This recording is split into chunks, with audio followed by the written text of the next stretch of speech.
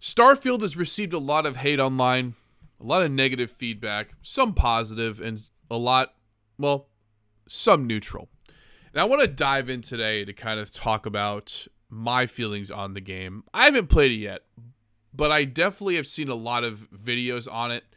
And I've noticed a lot of negativity, right?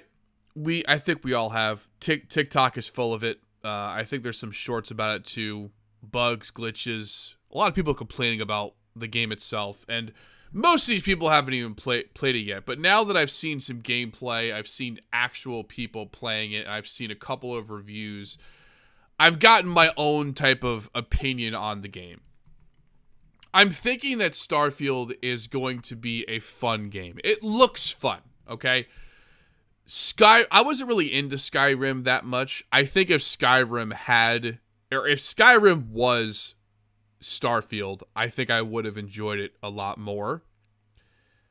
Because I was I'm not really into swords sword play like unless it's like a movie or something, but game wise I I did. That's actually not hundred percent true. I did like Assassin's Creed Black Flag. I love the combat in, in that game, but I, but but I think a lot of people did, or they hated the story in, in, in that game. It was either you liked the combat or you hated the story. But I but either way, Starfield has a lot of detail in it, and um, think about Starfield as being a a hit that Skyrim or sorry that Bethesda has not been able to do in a very long time. So think about think about Starfield as Bethesda's saving grace almost because it looks like from a lot of the reviews I've been seeing that it actually is a good game. And it and it looks it it's fun. Like it looks fun. Um, the gunplay looks a little bit off, uh, especially in third person. But I think first person uh, is going to be a better experience for most people. For third third person's got kind of a weird instance to it as far as fire rate, recoil, etc. But first person seems sim- similar to a AAA ti- ti- title. But I but I don't I I don't think that it's going to be similar to like a AAA title like Call of Duty or Halo or something along those lines. So you're not going to get something like that, but you're definitely going to get something very similar. It feels like Fallout. It feels like Skyrim uh, but you're in space.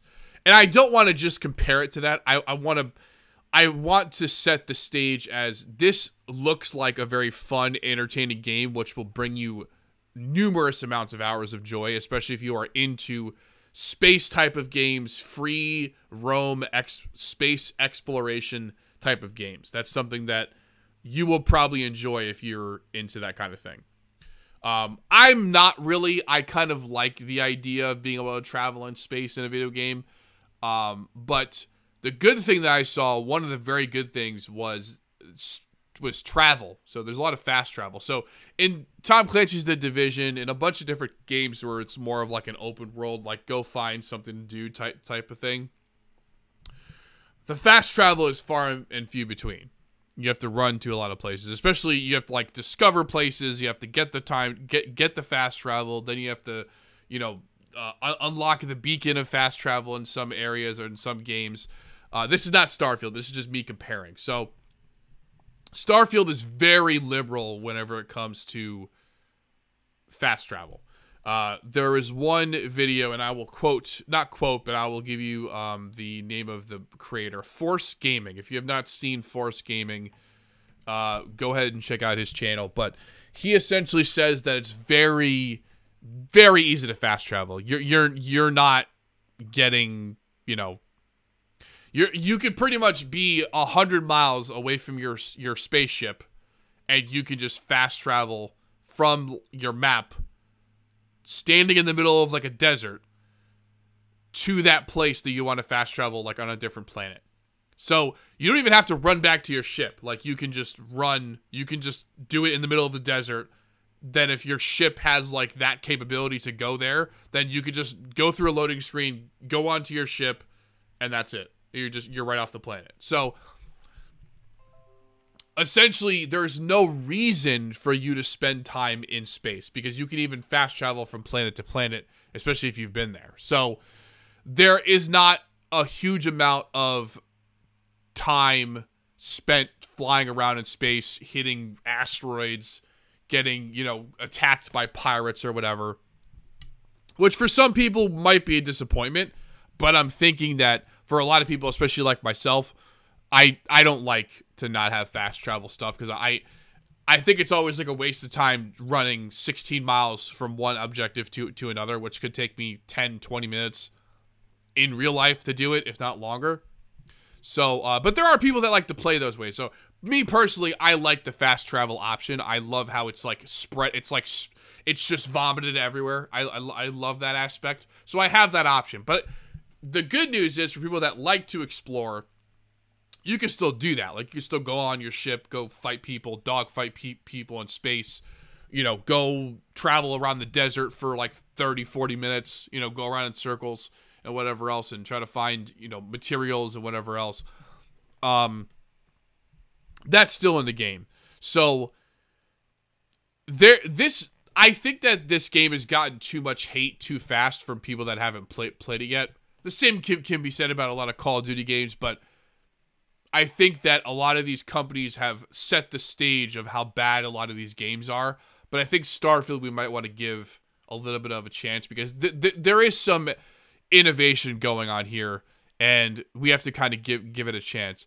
There actually has not been that many gl- glitches in Starfield as most other Bethesda games that I've noticed. So there's like character glitches. There's there's like the usual shit, right? Like things glitch into the ground, and NPCs glitch into the ground you know, people start spinning in circles or spazzing out. Things, you know, cameras go through rocks like that. That kind of shit's usual, right? You're, you're not. It's not like you're not going to see that in a game. Like this is a AAA title. This is something where you know you can't catch every single glitch. That I understand. Um, and sometimes I might even be a little bit too harsh on these games, as far as you know, glitches and just just overall gameplay, right? but but I think that we should that we should actually be giving Starfield a chance in this in in, in this sense because I feel like it's going to be a very well ex- explored game. Like it's going to be this is a large game. It's got a thousand planets, and there are a lot of POIs in those planets. So point of interest. Uh, anything in between, there's a lot of filler stuff. So it's not like Skyrim or like like uh, Fallout where you are, you know, there's there's POIs, but then there's like a lot more maybe like animals or um, you know, different materials to harvest or whatever. There is some of that, but it depends on the planet. Depends if the planet is habitable or not. Uh, sometimes you may face like giant spider crab creatures or something along those lines. Again, depends on the environment, you know, if it can actually sustain life. Some planets are just desert and they have, you know, just materials that you can harvest or mine or whatever. Uh, in between that and the POI, the POIs are very heavily, you know, there's loot everywhere. There's always stuff to do in the POIs.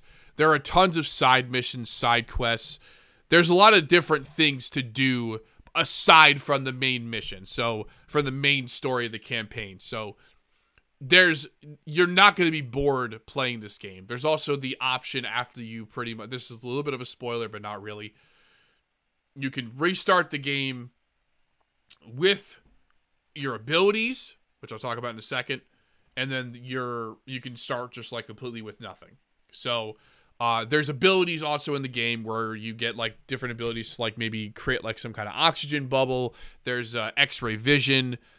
The way that it was done, it seems like it's very. I was wondering what the hell it was. There's like a boost too. You can for movement. So like you have a jetpack, but then you also have like a of a power boost or something. You can like boost yourself forward. It's only like a couple feet, but it's not very far. But it helps with movement, especially if you're you know going to a POI or going you're trying to travel a planet uh, on foot. It does help cut down some time. So there's these cool abilities. Uh, you can see the videos if you want to, to to see like the full list, or you can play the game yourself. But there are just know that there are kind of abilities that that they incorporated into the game, and from from what I've seen, I can honestly say it looks like it's going to be a fun game. It, it's it's something it's something where I think some people there's a there's a style for a lot of different players. So there's the style where if you want to be a space explorator and like go and fight dog fight people in space, like that's that option's there. You don't have to fast travel everywhere. But there then there are people that don't want to do that and don't want to spend like 90% of their time in space. You can just fast travel to, to places, especially if you visited it or, or, or already. Um, you have like a warp drive so you can pretty much visit wherever you want what what else is there that we can really talk about i mean i i'm i'm I, I don't play bethesda games that often like i never really played fallout i never really played sky skyrim there's been a lot of complaints about them just re-releasing sky skyrim or different versions of skyrim um but you know, if there's a fan favorite, you're gonna keep. If there's money in it, they're gonna keep doing it. So, Starfield is a far out project for, for, for them. There, there is there is a lot to explore, and there's a lot of POIs that are meant to be explored, and then there's the side quest type of POIs that can be explored. So there's a difference there, but overall, the game is going to be an interesting an interesting play. Um, I mean, a lot of people have put in over 100 hours, a 1,000 hours into it already. So, a lot of the videos that I watched, there were people that put a 1,000 hours into it. So, a lot of the information, a lot of this, where I'm coming from, is just from strictly like, you know, it, it we can't keep being negative about everything, but we also we also can't shit on things that are new, that are eh, that are being innovative. That's the thing. You know, because Call of Duty at the end of the day, when I think when they think in, in, in innovation, it's like they ask for something, let's give them something else, or you know, we want boots on the ground, Modern Warfare, and they're like, yeah, we'll, we'll give you Vanguard. You know, like that's that's kind of what I'm talking about. Whenever Call of Duty does that kind of stuff, but like other companies, I think have been trying really diff like hard, you know, new things. They were trying new things, trying to be innovative, trying to create a new game that we will all enjoy. But Starfield feels like that game. It feels like that is going to be the game that is, that changes the way that we play games because there's it's such a crazy there's a lot of info in the game. There's a lot of different things in in the game. So that's something to keep in mind when you're to pick up this title. Is that there's so much to do. So you're you're to easily be able to put in a 1000 hours and probably not even scratch the surface of what the game has to it has entailed for for you. So keep keep that in mind when you go to buy buy this game. You know, you're gonna you may have to put in ten thousand hours to actually get like a real to get a real feeling of what the game's gonna feel like.